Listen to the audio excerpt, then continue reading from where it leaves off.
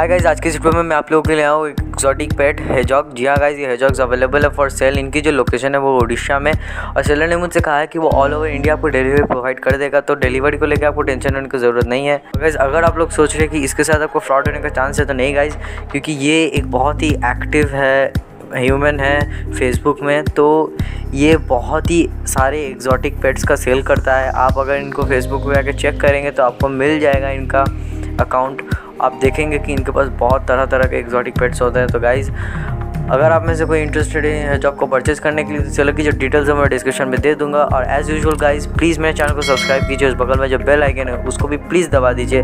जिससे क्या होगा, जब भी मैं एक नया वीडियो अपलोड करूँगा, आपको नोटिफिकेशन मिलते रहेंगे। तो guys without any more delay have fun in this video please